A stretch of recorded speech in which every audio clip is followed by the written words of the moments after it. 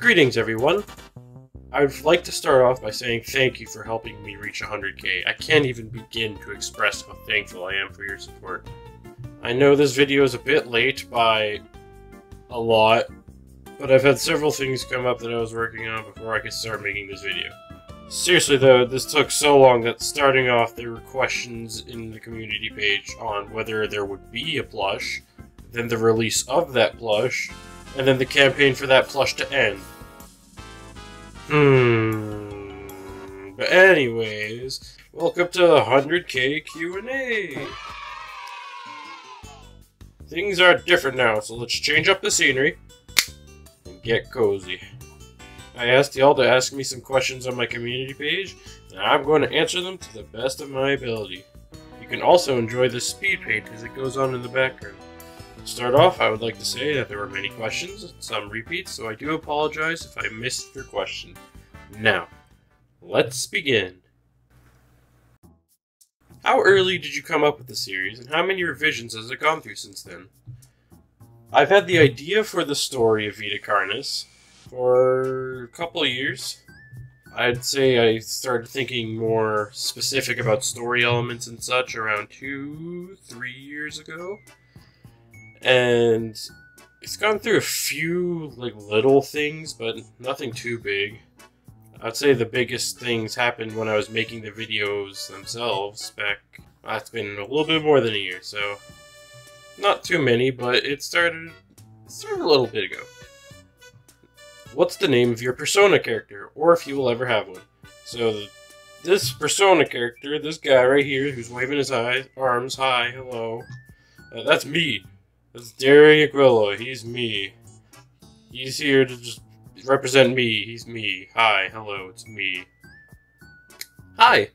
Hello. One, how did you come up with your persona character? And two, would you ever do a making of type video with some of your props? I would love to know how you made the mimic head for the first documentary. And three, will we see how the different types of meat creatures interact with one another? For example, would a mimic acknowledge the meat snake at all? Really love your creations. Well, thank you. To answer your first bit, how did I come with my persona character? I was inspired by one of Trevor Henderson's work called The Forgotten Baby. You can see the resemblance between the two creatures. And I just sort of turned it into my profile picture and started just making him, drawing him do little funny things. And here we are now. To answer your second question, uh, I kind of do that on my Ko-fi page. You can go in the link in the description and see all my stuff there where I do some behind the scenes works, but if I do any specific videos for YouTube, I would do it after the series has been completed and such. And for your third bit, I can't say too much, but yep, we will get to see some interactions. What advice can you give to upcoming artists who are maybe afraid or intimidated of taking the first step in pursuing art? Big fan of your work also, by the way. So, I'd say, don't be too worried about it. Practice, practice, practice. That's the best advice I can give. Practice makes progress. You gotta start somewhere, so might as well start as soon as you can. What was the hardest lesson you had to learn while making your series? The hardest thing that I had to learn was how to deal with um, make such poor planning for season one, because it first started off as a fun little silly project that I was doing. But then once it started gaining traction, I'm like, oh, I should probably spend a bit more time on this, you know? So building it up from there was a little difficult, but I think I'm starting to get the hang of things now. You can see some quality increase by the end of the season. So yeah, I'd say just working on quality and starting to get things properly produced, if that makes any sense. Anyways, so these two are together.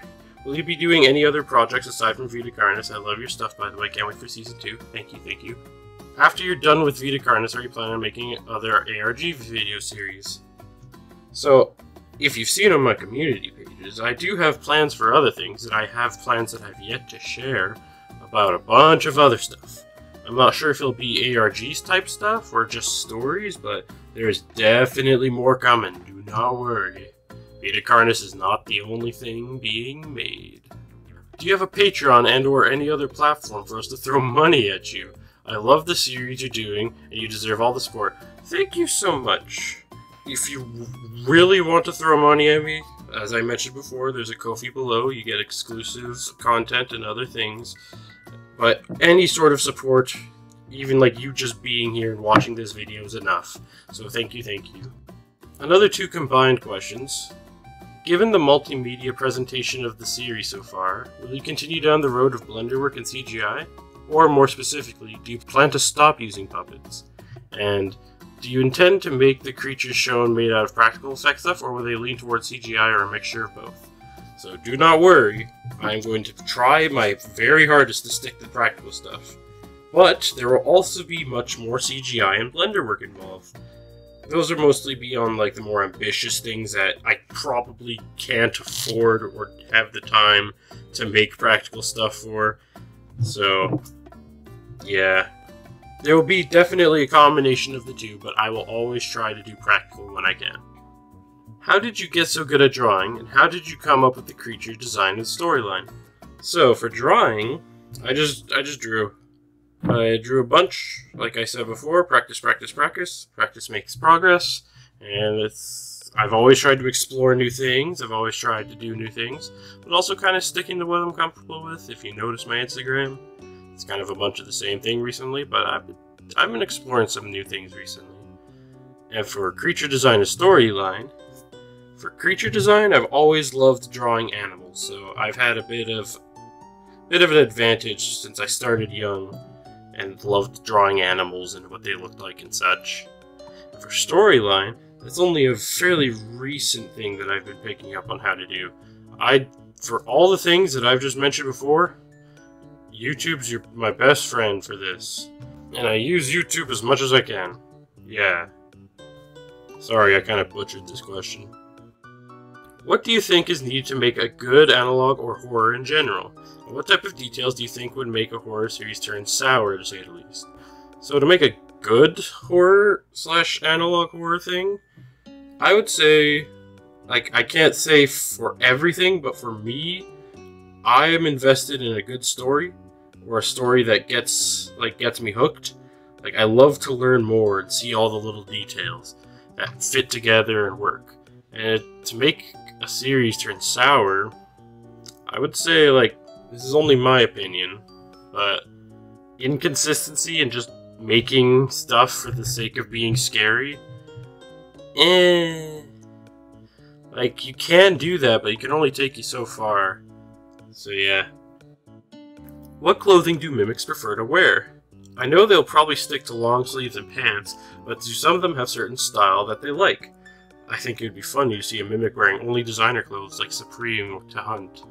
That would be really funny to see a Mimic fully dripped out, but they just pick whatever they can get their hands on. But preferably they like coats and sweatpants and stuff that's really loose and fits on their body well. Did you think your series would get the attention it's gotten? And if so, what would you have done differently? So a little part of me was really hoping that it would blow up like this, and I'm very grateful and very happy that it did. But it was a little too fast for my for my sake, I'd say. If I could do anything differently, I definitely would have spent a little bit more time on the early stuff and made it a coherent and visually pleasing thing to look at. Like, look at these. Like, eh. I would have spent much more time on it. This is one I thought of earlier today that I really wish I'd asked in our interview. Hey, look, look hey, I wonder who you are. Hmm, you look familiar. Hmm. When you decide that you want to pick up a new skill for a project, i.e. Blender, what's the first step you take to learning it, and how do you decide when your work is good enough? So, like I said before, the internet is your best, best friend. I study as much as I can, I do as much, like, practice as I can on it, and usually when I'm pleased enough like, hmm, I believe I'd be happy if this was uploaded, or, ooh, I think people would really like how this looks when it's uploaded, and that's when I think it's ready. 1. Do you plan on making a real movie on Netflix or any other company? I think you should make one. And two, will there be any new creatures? So, for one, that'd be really cool, but I would like to finish up the story before I do any big projects like movies or shows, because this is like I'm, I'm just a little I'm a little baby boy. I, I don't know anything, and I'm still getting the hang of making videos and such. So I wouldn't want to do anything huge before I finish my first story online, you know. And for two, we will not. Those specific creatures that I've introduced are going to be the only ones in the series, and there won't be any new ones. So sorry if y'all had like high expectations, but we have these guys, and that's it. Sorry. One, how are you doing? I'm doing great. Thank you so much for asking. And two, have you thought about getting people to help you with your work for season two and three, or are you sticking with doing the series solo? So, I might, but I prefer to do things on my end solo because I know what I'm looking for and I know all the fun little ideas that are going to happen. And I am very, very bad at communicating, especially communicating my ideas and stuff in a coherent form. So, preferably, I'd like to stick in solo, but I will definitely get more people to do like voice work and maybe even like some film stuff in the future. But all the big stuff like editing and the artwork and Blender and all that such is mostly going to be me. But who knows, maybe something will change in the future, but most likely not. I'm 16 and I love your art style. Is it too late to start drawing? It is never too late to start drawing. If anything, you're at more of an advantage starting where you are now. It'll take a little bit of time, but hey, anything takes time, so might as well start now. Has there been a case where someone accidentally took a mimic as a pet, thinking it was a trimming? It is very unlikely because of how different a, a young mimic versus a trimming look. Because trimmings, they're nice round little creatures who are always afraid and screaming and running away. While mimics are very, very skinny and are very aggressive. So it'd be fairly hard to mistake the two, because one, like a trimming, he's very scared and tries to run. The other one wants to rip your face off, so I, th I think you would be able to tell the difference. Did you not get scared of your own creatures, or love as scary as they were are? So, I don't get scared by my drawings, but I try to utilize things that do scare me in my drawings. For like example, eyes and the teeth and the mouths and such. I find that stuff creepy. But it doesn't like actually scare me. It's just kind of something I mix in that makes stuff scary. I try to make things that I find scary. But yeah. So kind of, I guess. What ingredients do you actually use to make the crawl pasta? I want some of that. So, the recipe that I used in the video is actually pretty close to what I did in real life. So if you want to replace what crawl is, just use ground beef and sandwich meat and cook it up. But I do recommend adding a sauce because that, that pasta was very dry, but it was very good, so I do recommend it. Will you ever hold a fan art contest for Vita Carnis? I would very much like to. I've been very busy recently, so I haven't had the time to do any sort of art contests like I used to do on my Instagram, but I would very, very much like to. And we might see that in the future fairly soon, maybe. I don't know. We'll see. We'll see. We'll see. We'll see. Is it possible to see mimics at a zoo? Like, could they be locked in a cage for visitors to observe? I would say the younger versions might be in a zoo because they eat other types of meat, but adults only eat humans, and they will not eat anything else once they've metamorphosed into an adult mimic. So it'd be fairly hard to keep them in captivity for too long without them, you know, eating people or starving to death. So only the little guys, only the little babies. How long do you plan on keeping the series running? So, there are three seasons planned for Vita Carnis. The first season we just completed. The second season should be coming. I don't know when I finish it. And it'll have it'll be a little shorter than season one, but it'll have longer episodes. And then season three will have only a few episodes, but they're a little longer. But it'll be the shortest season of the bunch. So there will be three seasons total. Two questions. One is lore related, but more for clarification's sake, I suppose. 1. How far into the narrative are we at this point? If it is definitive start and end point, i.e., one third, halfway, etc. So I'll answer this one now. Um, I would say we are kind of at the beginning. Because season one was more of a buildup of information and learning stuff, and the timeline jumps here and there, yada yada yada. But now we are on a much more linear timeline, where it will be very much like instead of like jumping from the 1980s to 1990s, it'll be like one linear storyline rather than jumping around. Two, regarding mimics, it says that they can use sound to potentially lure their prey. Does that include human speech or animal sounds? And if so, is it merely parroting those sounds they've heard from humans or animals to make? Or is it a simply a situation of an evolving predator learning and getting better as they develop? If this is a question you can't answer, no worries. This is a question I can answer, so do not worry. So it is kind of both. Like they learn and stuff from humans, and they do mimic sounds, and they but they kind of know what they mean. They can't have coherent sentences and conversations and such. They're not that smart. They just know what sounds mean what. Like if a human says, "Hey, can you come here?" They know that means, "Hey, can you come here?" Or if it's like, "Hey, I need help," they know, "Hey, that means that person's calling for help." So they kind of know, but not too much. They can't have like a conversation with you. Like they can't do that much. Great work. Looking forward to what comes next. thank you. If you had a pet trimming, what would you name it and why? I do have a pet trimming. Their name is Angelica, and they've solidified on my floor and now can't move. It's kinda sad, but things like this happen. What is the factor in crawl that determines the birth of a trimming or a mimic?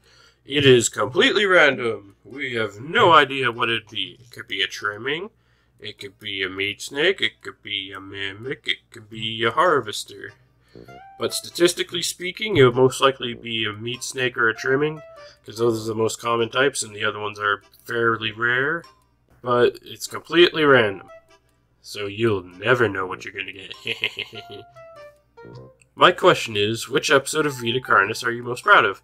Definitely the Mimic episode in the documentary that mimic jump scare scene was just mwah. The build up, all the little details leading up to the jump scare, and then the build up to the jump scare itself was just a perfectly stacked Jenga. And when the Jenga board fell, it was just mm, it was it was beautiful. In the research documentary for the Mimic, it shows that guns aren't a viable option to use against the Mimic. But in the Mimic the self-defense tape, it says that Mimics can be halted by bullets. Is this a retcon, or am I misunderstanding something? It is not a retcon. That was done on purpose.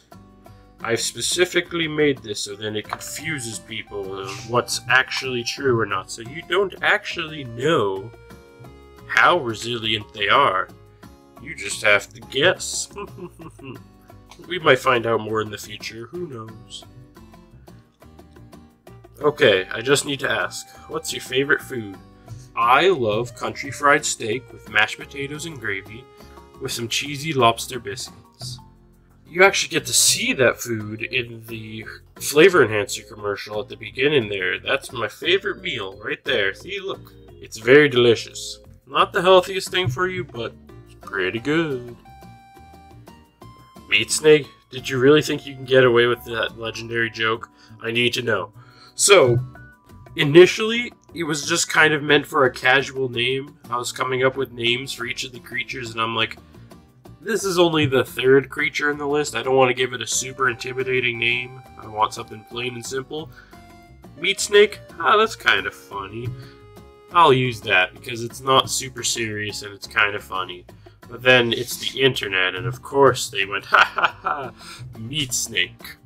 That's my fault, though. I, sh I should have I should have known. It's the internet Of course they would have hooked onto that name real real hard.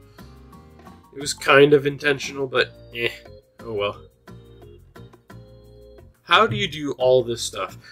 I don't know, man. I, I it's I've just been winging it this entire time. I don't know how I got here. I was just having fun editing and posting spooky videos, and now there's like fucking. Now there's like a hundred thousand of you guys. I don't know. I don't know. We're all pretending. I don't know how I got here. Uh, anyways. How did you make the screaming sounds? It was a combination of online stuff where I just found some free sounds online that I just mashed up and made sound spooky. Or it was people that I got to make the sounds themselves. Sometimes they're even me making that sounds. For example,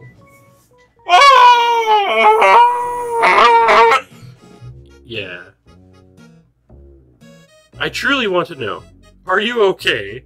I love Vita Carnis, by the way. I'm just, it's just horrifying, and I want to know if you're mentally well. I would say I'm mentally well. I have a little bit of social anxiety, but I don't think that's too bad.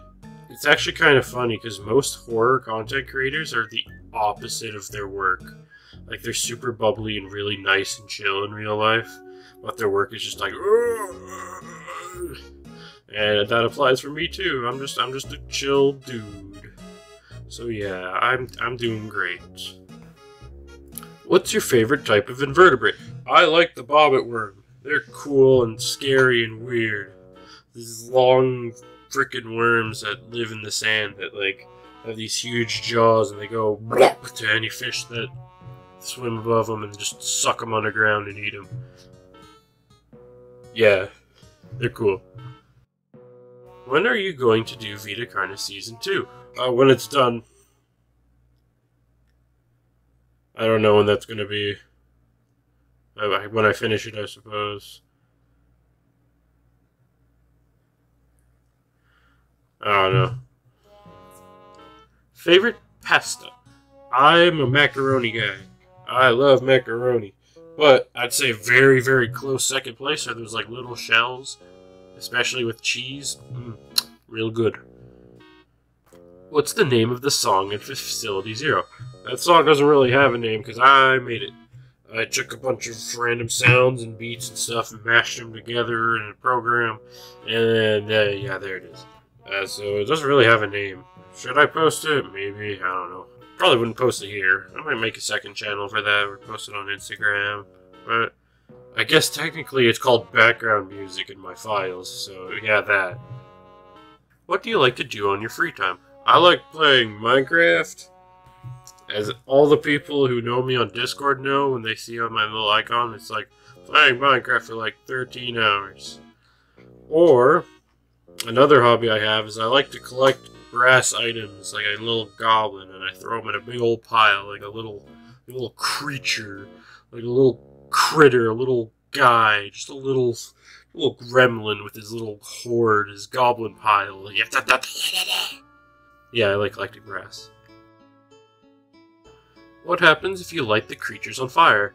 Uh, they would be on fire, and they wouldn't like it very much. When was the last time you jumped?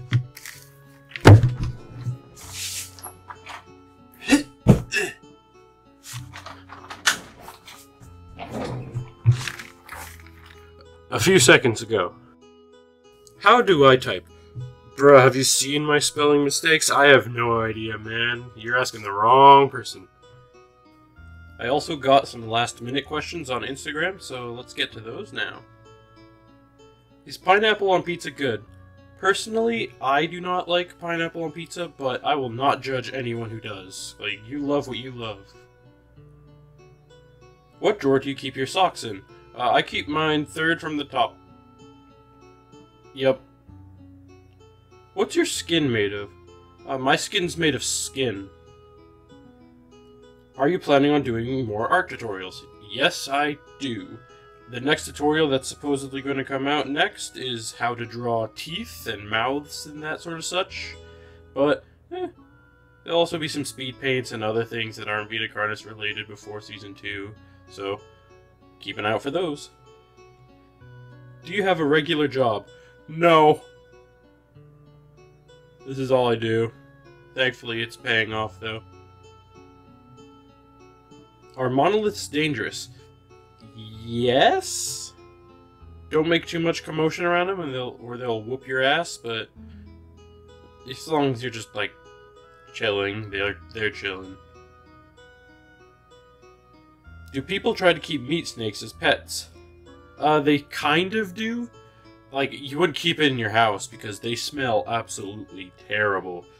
Like, imagine if you take a slab of meat, take some apple cider vinegar, pour it into a jar, put that meat in the jar, seal it away, put it in a spot that's touched by the sun, and then wait a week.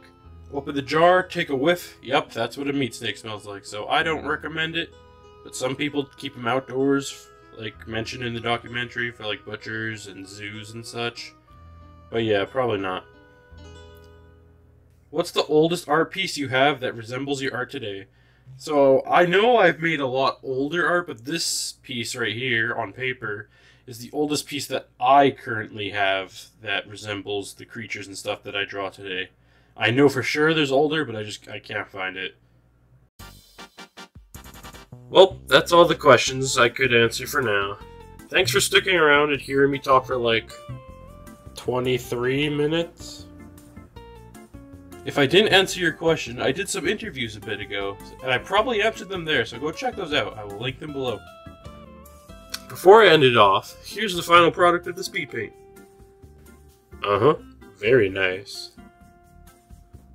In the description below, you'll find all my stuff. My main platform, Instagram, where I do most of my stuff. My Ko-fi, where you can support me and see a bunch of the exclusive behind-the-scenes work and early access to drawings and all that. My Redbubble, where you can find merchandise of my work. And my print store, where you can get physical copies of my art. Thank you again so much for 100k. That is such a large amount of people, and it's crazy to even think about. Much more to come in the future. Thank you for watching like and subscribe, and farewell.